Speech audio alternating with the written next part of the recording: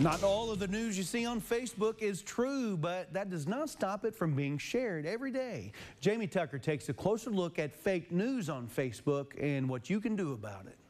When you hear someone say, Well, I saw on Facebook, well, be skeptical, especially if they're talking about news stories. And with the election just a couple of weeks away, sharing fake news on social media is getting more common.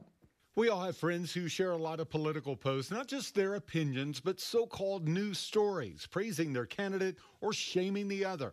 University professor Hani Farid has a suggestion. Get off of social media. Just really, I mean, no kidding. The studies are in.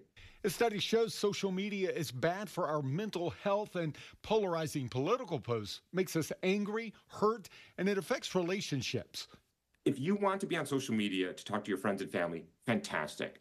Stop getting your news from social media. That is not what it was designed for. Before sharing a post, check to see where it originated. Was it a reputable news organization or one that deliberately produces fake news and clickbait? If you want to avoid seeing anything political, you can try a couple of things. Go to settings, profile and tagging, and enter a few keywords you want to block.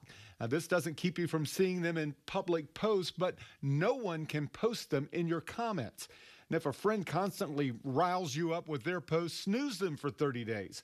Or you can unfollow them. You won't see their posts unless you go looking for them. Unfortunately, Facebook doesn't have a tool to block certain keywords from appearing in your news feed, but if you are feeling worse every time you get on social media, it might not be a bad idea to take a break, at least until after the election.